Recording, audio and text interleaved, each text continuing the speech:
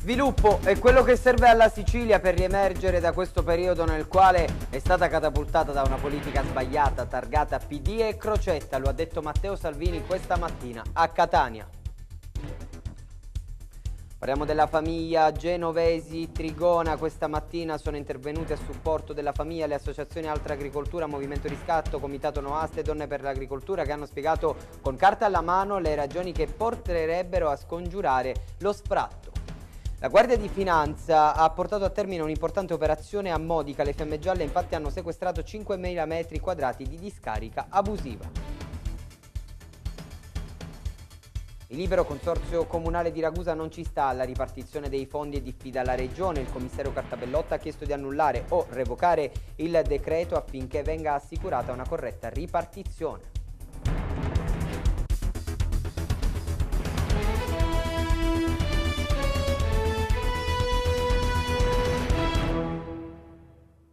16 minuti dopo le 14, benvenuti a tutti i nostri telespettatori. Lo avete ascoltato dai titoli in apertura, parliamo della visita di oggi del leader della Lega Matteo Salvini a Catania, arrivato a supporto della candidatura alla presidenza della regione siciliana di Nello Musumeci. Salvini ha eh, parlato alla folla dicendo dobbiamo riemergere dalla realtà cui eh, è stata catapultata l'isola siciliana dal governo Crocetta, il servizio 13 ore da Trapani a Ragusa per 350 km in treno ripercorrerà Matteo Salvini per sottolineare come in Sicilia le infrastrutture siano alla preistoria. La Sicilia può diventare come la Lombardia o il Veneto ma serve un cambio di rotta e una buona politica. A dirlo è appunto lo stesso Matteo Salvini questa mattina a Catania. Farò la Trapani-Ragusa in treno, un'odissea di 13 ore per fare 350 km e quindi contiamo di entrare con noi con Salvini per la prima volta in Consiglio regionale per fare un po' di pulizia. Bloccare l'immigrazione e fare politiche serie per il lavoro perché un ragazzo su due non ha lavoro, quindi politiche serie non vuol dire assumere gli amici degli amici, quello che ha fatto il PD. Eh, mi stupisce che un signore come Di Maio parli di osservatori internazionali per il voto in Sicilia che di solito si mandano nelle zone di guerra. Io penso che i siciliani voteranno con la testa liberamente, non hanno bisogno di tutori, di accompagnatori o di controllori. Il 50% però non andrà a votare. E noi cerchiamo di parlare anche a questo 50% che è stato deluso da tutti e da tutti, li capisco perché tutti hanno promesso tutto, noi vediamo di promettere poche cose ma quelle cose di mantenerle, l'agricoltura al primo posto, il lavoro al primo posto, sull'immigrazione idee molto chiare, non vogliamo più neanche un clandestino ospite degli alberghi siciliani, quando dico neanche uno dico neanche uno. Salvini attacca poi l'attuale politica, il sistema che viene applicato dal governo nazionale ma anche dagli oppositori, fra tutti il Movimento 5 Stelle. Il riferimento è soprattutto alle liste non sempre pulite, alle continue inchieste che riguardano esponenti politici di qualsiasi partito. Noi offriamo ai siciliani e agli italiani onestà sicuramente, però anche concretezza e capacità di risolvere le cose. Io sostengo Musumeci come candidato presidente e la lista di noi con Salvini che è una lista pulita. Se altri per interessi e ragionamenti loro hanno fatto scelte sbagliate non eh, sceglieranno i siciliani. Continuiamo a parlare di elezioni regionali perché questa mattina il candidato Teo Gentile a Scicli ha presidiato eh, il presidio sanitario, l'ospedale Busacca, al centro del suo sit-in pacifico eh, l'attuale situazione vissuta eh, dall'ospedale Busacca. I, noi lo abbiamo incontrato. Il candidato all'Ars nella lista popolari ed autonomisti, Teo Gentile, ha scelto di chiarire il proprio punto di vista in merito a quanto sta accadendo e si sta determinando al Busacca di Scicli, un sit-in pacifico e che ha avuto lo scopo di porre l'accento su quella che a Scicli è la priorità al momento, ovvero la sanità una città, Scicli, su cui non si capisce a che gioco stiano giocando le autorità, non si capisce il modus operandi dell'azienda sanitaria provinciale, una confusione che si determina ancora di più in questo delicato periodo della campagna elettorale. Così, per questi motivi, Gentile oggi ha scelto di intervenire sulle sorti della sanità nella città. Io propongo veramente di realizzare urgentemente un comitato tecnico di controllo di presidio composto da professionisti, specialmente nel ramo del diritto amministrativo e sanitario, affinché venga controllata che la legge sia rispettata, quindi controllo di legalità. Nessuno può chiaramente andare a sindacare se ci sono ve delle vere esigenze sanitarie, ma se l'operazione sottende ad altro obiettivo è chiaro che la legalità deve essere rispettata. Da parte mia sono un avvocato, già faccio prontezza di poter dare la mia disponibilità e la mia competenza per comporre questo tavolo, questo, questo diciamo, presidio di controllo. C'è un'accelerazione nella procedura, per, si parla di chiusura del pronto soccorso, che avviene in un momento topico, in un momento particolare il passaggio da un'amministrazione regionale a un'altra. Siamo sotto campagna elettorale, normalmente in queste fasi per correttezza si dovrebbe giocare a bocce ferme, invece cosa si nota? Che si cerca di raggiungere l'obiettivo, quello della chiusura del pronto soccorso, prima che si giunga alle nuove elezioni. Sorge spontaneo un dubbio, si vuole completare un iter che è iniziato da anni e quindi si cerca di portarlo a termine prima che lo stravolgimento, l'auspicato stravolgimento della compagine regionale possa stoppare questo iter e quindi arrivare ad altre finalità. Il problema del precariato in via di risoluzione, la situazione della sanità in Sicilia al centro ieri pomeriggio dell'incontro tra il candidato del Partito Democratico all'Ars Pippo Di Giacomo e gli operatori del mondo sanitario. L'attivazione della nuova rete ospedaliera, passaggio da noi fatto nei mesi scorsi, ha aggiunto Di Giacomo, ci ha permesso di sbloccare i concorsi. È chiaro infatti che vi siano ancora carenze di personale in diversi settori e il prossimo passo sarà quindi quello di attivare nuovi concorsi, ha dichiarato il candidato del Partito Democratico all'Ars Pippo Di Giacomo.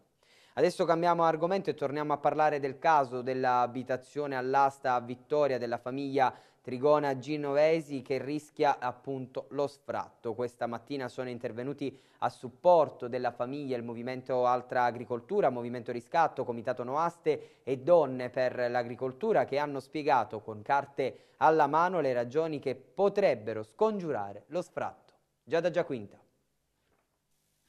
Questa signora che ha acquistato questo bene immobile, che risulta disoccupata e in attesa di prima occupazione e nello stesso periodo ha acquistato altri tre immobili all'asta, io vorrei capire se questa persona ha fatto 13 al totocalcio o i soldi provengono da qualche altra parte.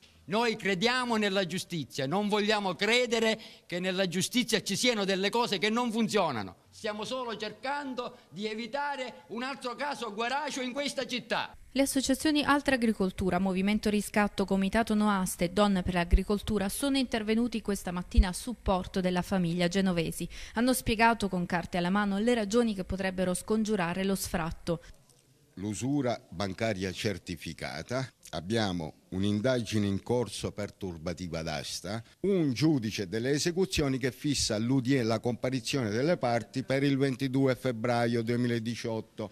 Ora, se c'è un'udienza fissata, ferma tutto. Aspettiamo cosa decide l'udienza. Una mancata intestazione di un assegno che non viene intestata alla procedura. L'asta giudiziaria è l'unico luogo dove si può acquistare senza che ci sia la verifica dove, di dove provengono i soldi. Avevamo già parlato del dramma familiare vissuto dalla famiglia che rischia lo sfratto della propria casa venduta all'asta per 38.000 euro a fronte del valore di 190.000 a una persona disoccupata in apparenza priva di reddito. Perché ci sono molte anomalie in tutta questa procedura e vogliamo vederci chiaro. Se non ci vediamo chiaro noi non usciamo di qua. Vogliamo la certezza che, che, dobbiamo uscire. Ora, questa mattina, dopo la visita del custode giudiziario alle 8 del mattino, si erano inizialmente barricati in casa minacciando atti inconsulti per la disperazione. In un secondo momento hanno accettato di incontrarci per pochi istanti, poco prima però che la proprietaria dell'appartamento accusasse un malore costringendo i presenti ad allertare il 118 per verificare lo stato di salute della signora, già cardiopatica. Il sistema delle aste giudiziarie, come ha dichiarato Gianluco Chipinti, assessore ai servizi sociali del comune di Vittoria, presente questa mattina per incontrare e supportare signori genovesi, purtroppo sta provocando situazioni che a Vittoria ormai sono quasi all'ordine del giorno. Cambiamo argomento, serviranno dai 9 ai 18 mesi per la riabilitazione dell'ispettore di polizia municipale aggredito in via del Rotolo più di un mese fa. Trasferito a Cefalù per la riabilitazione, l'ispettore necessita di un'assistenza H24, così come racconta ai nostri microfoni il fratello Matteo, che ci dice anche il perché è stata aperta una sottoscrizione per le spese mediche. Sara Donzuso. Aggredito lo scorso 3 settembre mentre era in servizio in via del Rotolo, l'ispettore Licarin in questi giorni è impegnato nella fase di riabilitazione e per questo motivo da qualche settimana si trova a Cefalù. Le sue condizioni restano abbastanza serie, così come ci dice il fratello che ci spiega anche il perché sia stata aperta una sottoscrizione per aiutare e sostenere le spese mediche. Il centro è a, to a totale carico, quindi l'attività di, di, di, cura di mio fratello è a, a totale carico del servizio nazionale, però l'assistenza l'assistenza personale è a carico nostro. Luigi è affetto da una tetraparesi e siccome è stato colpito in fronte ha una, una, un deficit cognitivo molto serio, per cui in questo momento lui riconosce la famiglia e proprio nelle ultime ore, possiamo dire anche l'ultimo giorno, abbiamo avuto notizia che lui si relaziona con i medici, cioè un, con i medici e il personale infermieristico. Questo vuol dire che sta facendo un passo in avanti. Luigi non ricorda nulla né di quel sabato né tantomeno di quello che faceva? Lui in questo momento eh, non ricorda che lavoro fa, se lei glielo chiede lui guarda nel vuoto eh, come un bambino gli, le, le, dice con gli occhi ma di che cosa stai parlando, ecco questo è il problema che abbiamo. C'è speranza che siccome ricorda gli affetti familiari eh,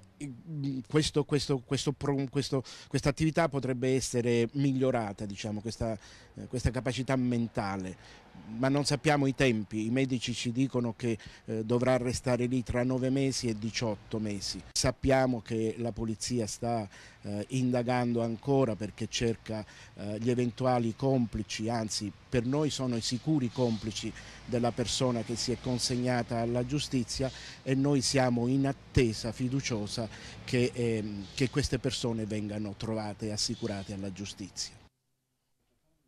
Torniamo adesso a parlare dell'operazione Strascico perché sono stati portati a termine i quattro arresti, infatti la notte dell'operazione erano irreperibili quattro persone, tra queste pensate anche Nunzio Latorre, giocatore di calcio che militava in Serie A negli anni 90 nel Catania. Si chiude il cerchio con gli ultimi quattro arresti dell'operazione Strascico portata a termine dalla squadra mobile di Ragusa iniziata cinque giorni fa quando furono arrestate 13 persone. Devono rispondere tutti ai 17 di furti e ricettazioni a danno di aziende del settore edile. Gli arresti sono stati eseguiti alle prime luci dell'alba a Catania dopo un briefing operativo. 120 poliziotti che hanno fatto irruzione nelle case dei 17 destinatari del provvedimento di cattura emesso dalla Procura di Ragusa. All'operazione hanno partecipato anche gli uomini della Polizia Scientifica, della Squadra Mobile di Catania e di Enna, con i reparti Prevenzione Crimine e le unità cinofile di Catania e Palermo.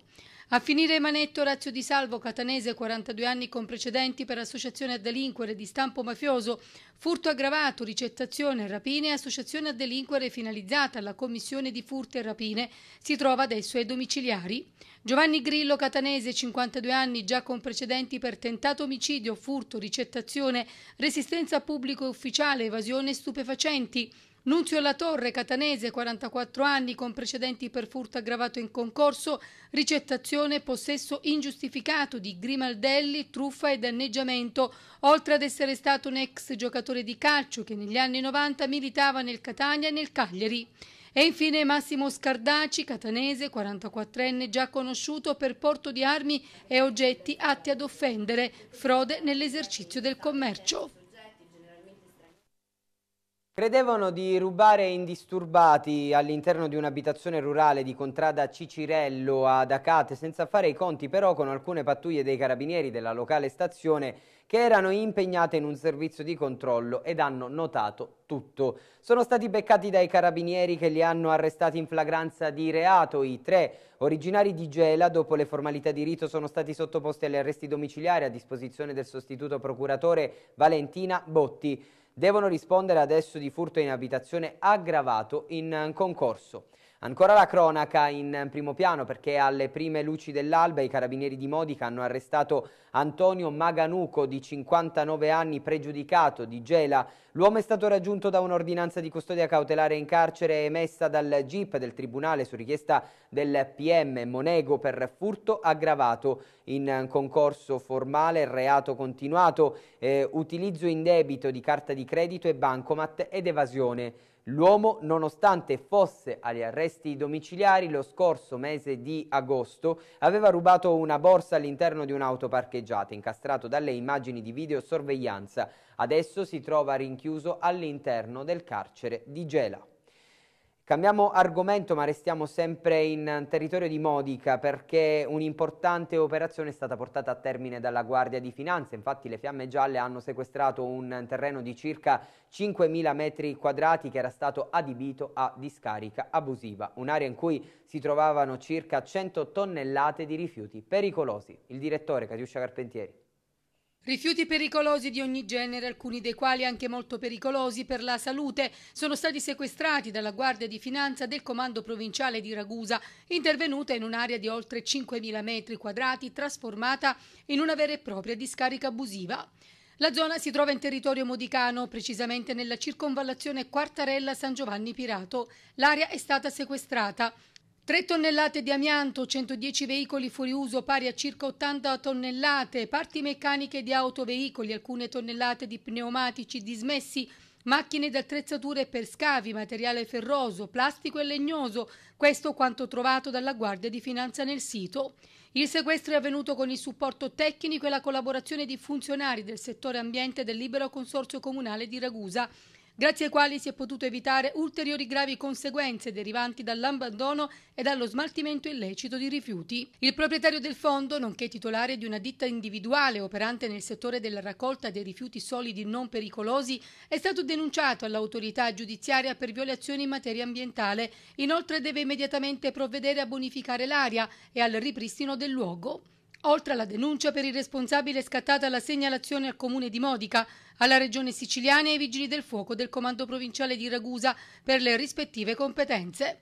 L'abbandono incontrollato di rifiuti, infatti, oltre a costituire un deturpamento del territorio, stante la natura dei materiali stoccati, può provocare una contaminazione del suolo con conseguente potenziale danno per la salute della collettività. L'attività delle fiamme gialle continua incessante e non si esclude un'altra importante operazione a tutela dell'ambiente.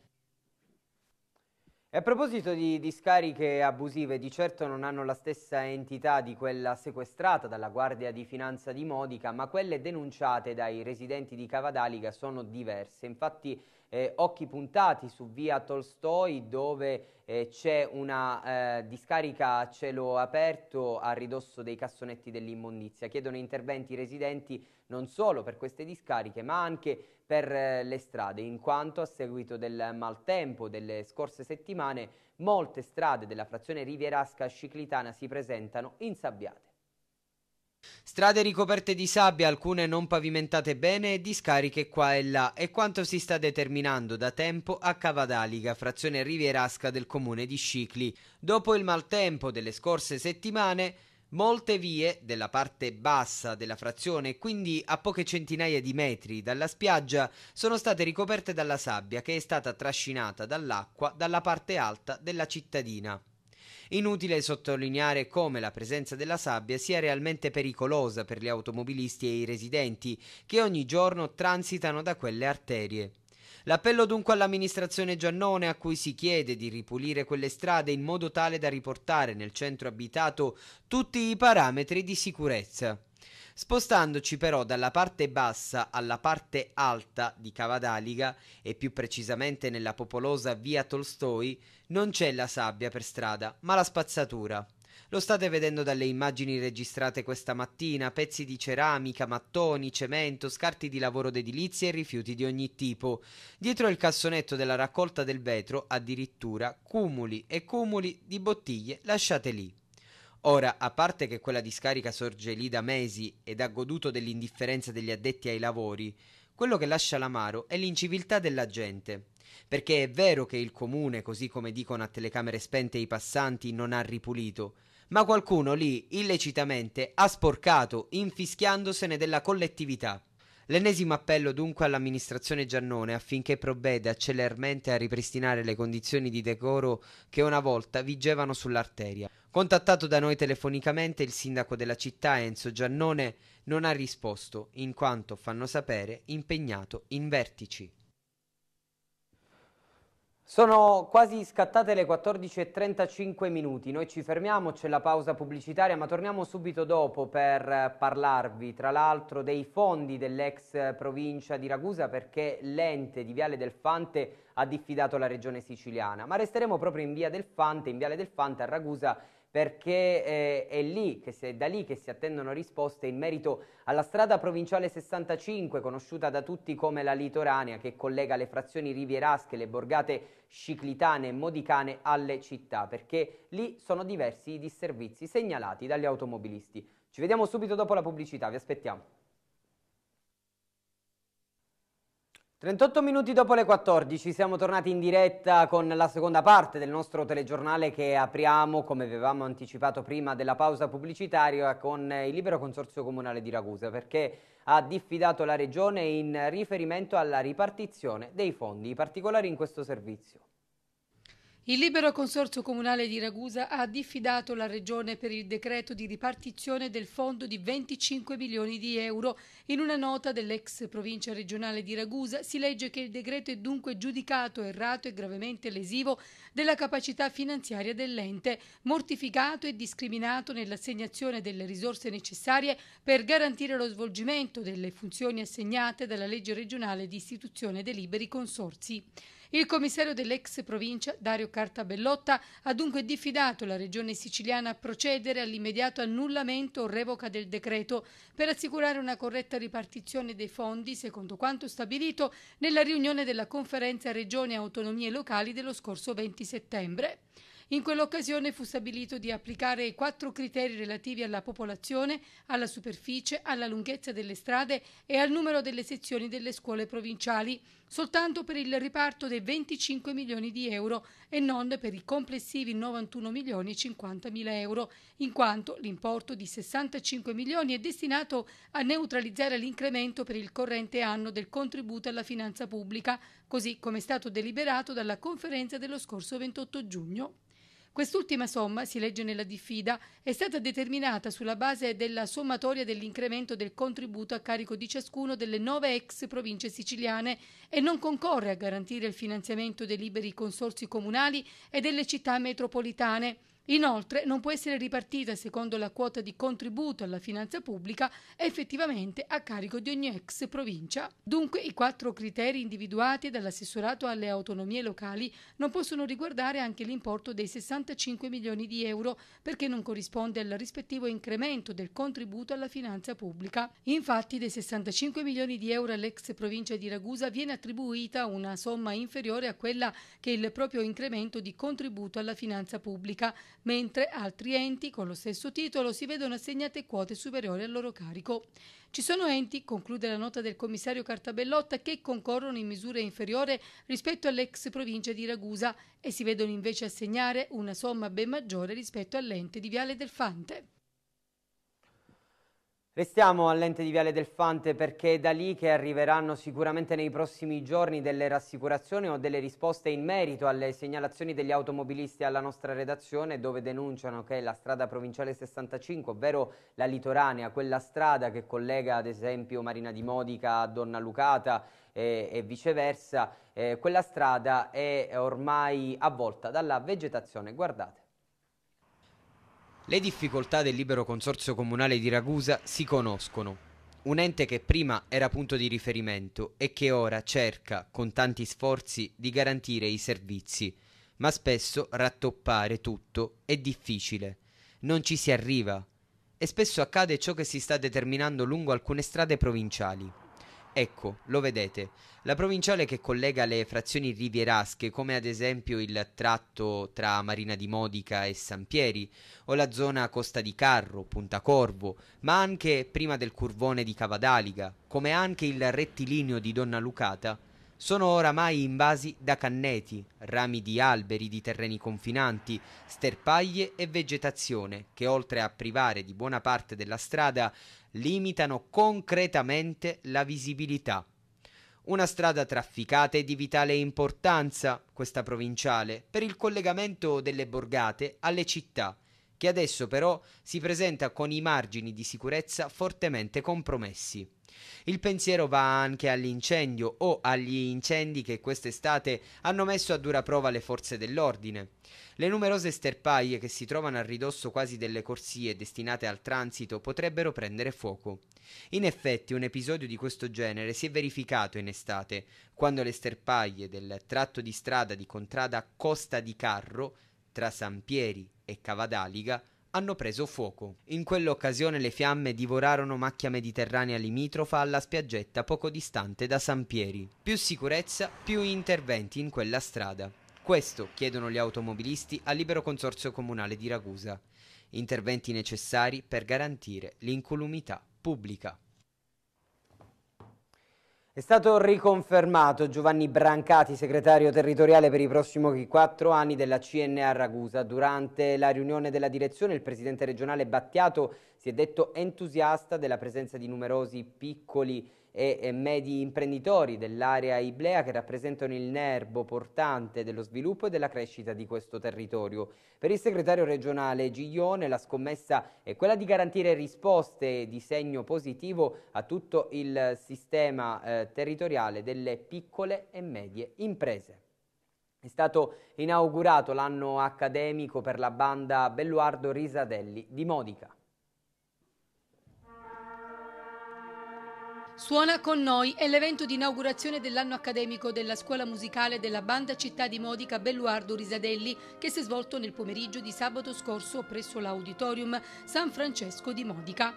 Durante la serata inaugurale tante le sorprese dai cenni storici della banda magistralmente introdotti dallo studioso Carmelo Cataldi all'intitolazione della scuola alla memoria di Peppino Garfo, personaggio modicano scomparso di recente, da sempre legato alla musica e primo sostenitore della scuola musicale musicale che adesso ne porta il nome. Fino all'intervista a Gianluca Cataldi, presidente della banda Belluardo Risadelli, che ha raccontato la genesi della scuola, quando cioè due anni fa un gruppo di ex componenti modicani della storica banda della città della Contea non più esistente decise di dare vita ad una nuova formazione, la banda musicale città di Modica Belluardo Risadelli intitolata all'ex capobanda Enzo Belluardo e a un componente storico del vecchio corpo bandistico Vincenzo Risadelli. Presenti tra gli altri nel pubblico anche il capitano della Guardia di Finanza Alessandro Salvatore e Carmelo Avola in rappresentanza dell'Avis. Quest'ultimo ha ricordato l'importanza del fare rete dell'associazionismo in città. La serata è stata condotta dalla giornalista Alessandra Brafa. Sonori gli applausi per i 47 degli 82 allievi della scuola musicale gratuita che insieme ai componenti della banda cittadina, tutti sapientemente diretti dal maestro Corrado Civello, hanno regalato emozioni autentiche e vere, rappresentando uno spaccato associativo con musicisti dai 6 ai 70 anni che hanno suonato assieme. Se suonare è un'arte, suonare uno strumento e farlo per la propria città diventa un'esperienza culturale ed educativa come nessun'altra, ancora più emozionante. Ha concluso così il maestro Civello nel ringraziare il caloroso pubblico, intervenuto anticipando sogni e progetti per il futuro. 46 minuti dopo le 14 termina qui questa edizione del nostro telegiornale. Grazie come sempre per averci scelto. Vi ricordo che la prossima edizione di MTG sarà alle 16.30, poi alle 20.30. Grazie per averci scelto ancora e buon proseguimento su Video Mediterraneo.